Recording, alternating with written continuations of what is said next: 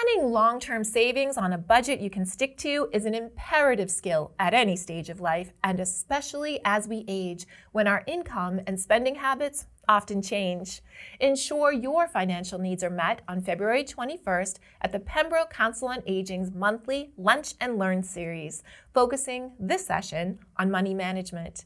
Enjoy a delicious lunch of sweet and sour chicken with fried rice, vegetables, and dessert while getting tips and tricks on good money management.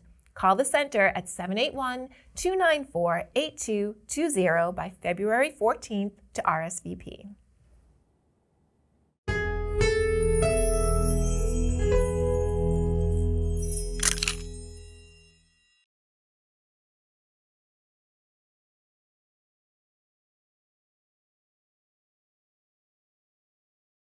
Thank you for watching. If you enjoyed this video, please hit the like and subscribe button below before you go. We'll see you next time.